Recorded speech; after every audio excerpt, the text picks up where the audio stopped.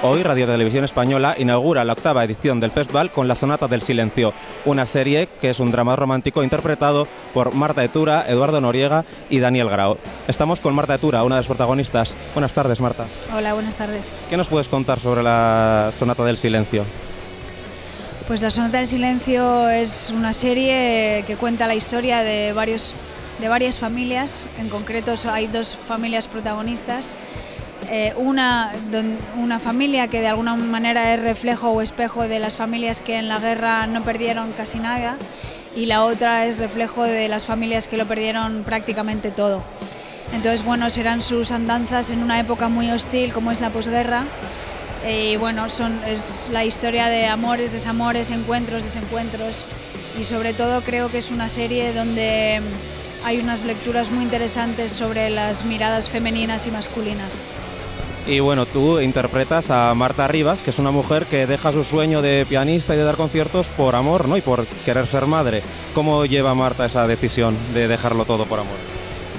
Bueno, en realidad eh, Marta no deja de tocar por, eh, por deseo, en realidad, o no, ni siquiera es una decisión, es más bien una imposición por las circunstancias. Se ve envuelta en unas circunstancias donde ella tiene que vender su piano, donde tiene que dejar de tocar porque tiene que ocuparse de algo mucho más importante, que es de sobrevivir, de que sobreviva su familia.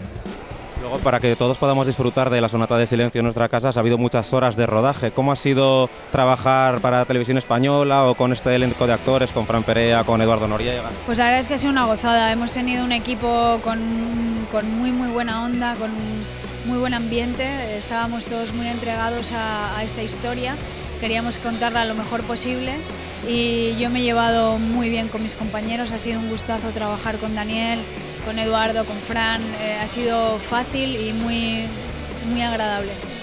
¿Y alguna anécdota que nos puedas contar del rodaje? Pues mira, te puedo contar que fue muy duro porque, bueno, pues eh, eran muchos capítulos en poco tiempo y entonces fue, digamos que eh, un ritmo muy rápido y, rodamos en la época de invierno y, pasamos mucho frío con los trajes de época. Pero la verdad es que estábamos, como te digo, muy metidos en la historia y, y lo importante era eso, contarla bien. ¿Y por qué recomendarías ver La Sonata de Silencio? ¿Qué es lo que engancha al espectador? Porque es una serie yo creo que de muy alto nivel técnicamente, es una serie con una factura impecable, pero sobre todo porque es una historia muy interesante, con lecturas muy interesantes sobre una época que es pasada, pero es en realidad es nuestro pasado más reciente, ¿no? Y creo que es muy interesante conocerlo. Pues muchísimas gracias Marta y mucho éxito y mucha suerte con la sonata. Gracias.